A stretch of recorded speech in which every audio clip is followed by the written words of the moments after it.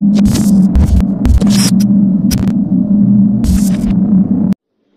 অনেক সময় ছোট ছোট শিশুদেরকে, বাচ্চাদেরকে মিথ্যা আশ্বাস দেই, মিথ্যা ওয়াদা করি। এবং এটা মোটামুটি আমাদের সব ফ্যামিলিগুলোতেই কম বেশ করা হয়। অথচ এটি জঘন্য একটি কাজ। প্রথমত, এতে বাচ্চাকে মিথ্যার প্রশিক্ষণ দেওয়া হয়ে যায়। বাচ্চা বাচ্চা মিথ্যা শিখে বড় হতে থাকে। সেও একসময় মিথ্যায় অভ্যস্ত হয়ে যায়। দ্বিতীয়ত মিথ্যা আশ্বাস দিয়ে বাচ্চাকে সে আশ্বাস পূরণ না করলে, মিথ্যা কথা বললে বাচ্চার সঙ্গে, বাচ্চা আস্তে আস্তে আস্তে তার অভিভাবকদের প্রতি যে আস্থা, যে বিশ্বাস, যে শ্রদ্ধা, যে সম্মান, তার ভিতরে থাকা দরকার, সেটা আস্তে আস্তে উঠে যায়। এটা বড় ধরনের ক্ষতি।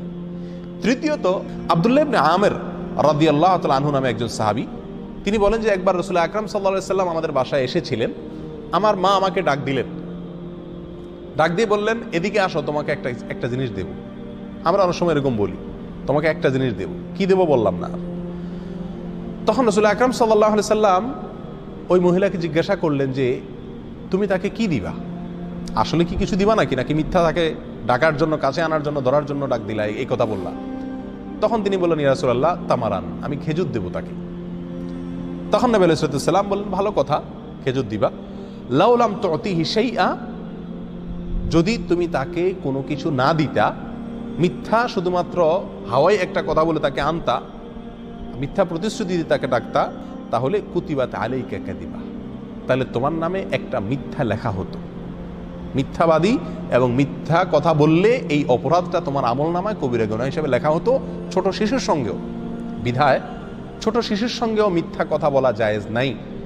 সেটা দুষ্টামির ছলেও নয়, কোনো তার থেকে কাজ হাসিল করানোর জন্য নয়। অনেক সময় খাবার জন্য, পড়ার জন্য বাচ্চাদেরকে আমরা মিথ্যা প্রতিশ্রুতি দিই। বউ তুমি খাও, তুমি পড়ো, পড়লে খাইলে তোমাকে অমুক জিনিসটা দেবো। আসলে তাকে দেবো না। এরকম মিথ্যা প্রতিশ্রুতি দেওয়া বাচ্চাদের সঙ্গে জায়েজ নাই। বড়দের সঙ্গে মিথ্যা প্রতিশ্রুতি দেওয়া বা মিথ্যা কথা বলা যেরকম গুণা বাচ্চাদের সঙ্গে মিথ্যা কথা বলা সেটাও কি গুণা আব্দুল্লাহ ইবনে মাসউদ রাদিয়াল্লাহু তাআলা বলেছেন, লা ইয়াইদু আহাদুকুম সাবিয়াহু সুম্মা লা ইউনজিজুহু লাহ। তোমাদের কেউ ছোট বাচ্চাদের সঙ্গে এমন কোনো অঙ্গীকার যেন না করে যে অঙ্গীকারটা শেষে সে পূরণ করবে না।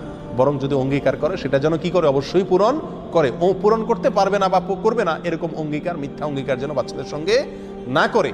এতে বাচ্চা মিথ্যায় অভ্যস্ত হবে, অভিভাবকের প্রতি আস্থা নষ্ট হবে এবং নবী আলাইসালাম একটা নির্দেশ লঙ্ঘন হবে, আল্লাহর নির্দেশ লঙ্ঘন হবে, মিথ্যা কথা বলা হবে। বিদায়, ছোট বাচ্চাদের সাথেও মিথ্যা প্রতিশ্রুতি দেওয়া কোনো কাজ হাসিলের জন্য, উদ্ধারের জন্য জায়েজ নাই। অনেক সময় বাচ্চাদেরকে আমরা মিথ্যা গল্প শুনাই। আমি নিজেও জানি যে এটা মিথ্যা। বানোয়াট। এই বানোয়াট মিথ্যা গল্প বাচ্চাকে শুনাই। সে মজা পাবে, সে এনজয় করবে, সে জমে উঠবে, তাকে ঘুম পাড়াবো, তাকে খাওয়াবো, তাকে পড়তে বসাবো, তার কাছ থেকে কোনো কিছু উদ্ধার করব, সেই উদ্দেশ্যে। তো এরকম কোনো উদ্দেশ্যকে সামনে রেখেও বাচ্চাদের সঙ্গে মিথ্যা কথা বলা, মিথ্যা কিচ্ছা কাহানি শোনানো, মিথ্যা গল্প, গল্পবাজি করা, এগুলো জায়েজ নাই।